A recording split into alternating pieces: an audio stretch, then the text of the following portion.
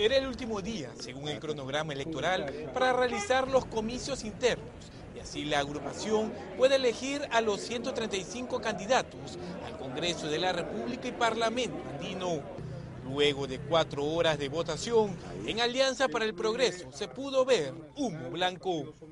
Ya se ha elegido a todos los representantes al Congreso de la República por todas las regiones del país y a nuestros representantes al Parlamento andino.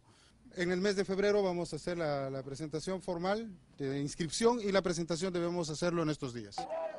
La lista de Alianza para el Progreso presenta algunos nombres que ya son conocidos para el Parlamento Nacional.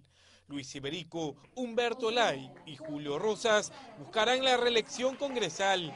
Entre los nombres nuevos llamó la atención ver el del exfutbolista de Sporting Cristal y la selección peruana Roberto El Chorrillano Palacios, postulando con el número 10 por Lima.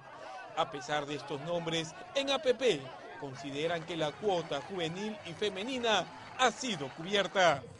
Habrá cuota juvenil en esta... La cuota de género, la cuota juvenil, la cuota de comunidades campesinas, hemos sido muy cuidadosos en todo lo que establece la ley electoral. ¿Jóvenes cuántos van a estar participando? ¿Cuántas mujeres en esta lista? Tenemos una buena proporción de jóvenes y de mujeres.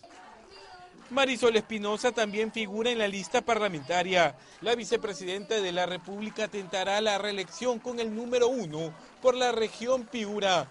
A pesar de la nueva modificatoria en la ley de partidos políticos y del último pronunciamiento del jurado electoral, dejando toda la responsabilidad de decisión en el Congreso de la República, en Alianza para el Progreso confían en un buen desenlace para esta confusión. Mientras convocan, mientras eh, emiten, mientras se vota y este y después que vaya al, al presidente y que vea si se lo observa o no se observa y si le pone el número y todo eso, ya se acabaron las elecciones, ¿no? Entonces aquí hay que ser práctico en qué se puede aplicar y en qué no. Con la elección de su lista parlamentaria, Alianza para el Progreso se prepara ahora para afrontar con todo esta justa electoral.